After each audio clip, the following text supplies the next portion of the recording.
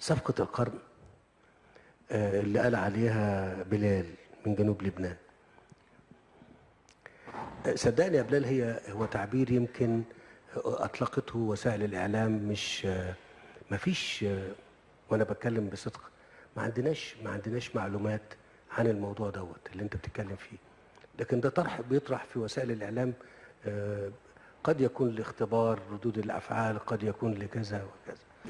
النقطة الثانية أو الموضوع الثاني فخامة الرئيس آه، هتجدني آه، وبقوة أيضا آه، داعم وبشدة كل الجهود اللي هتبذل من أجل إيجاد حل لقضية القرن في صفقة القرن اللي أنا متأكد إن فخامة الرئيس هيستطيع أن ينجزها.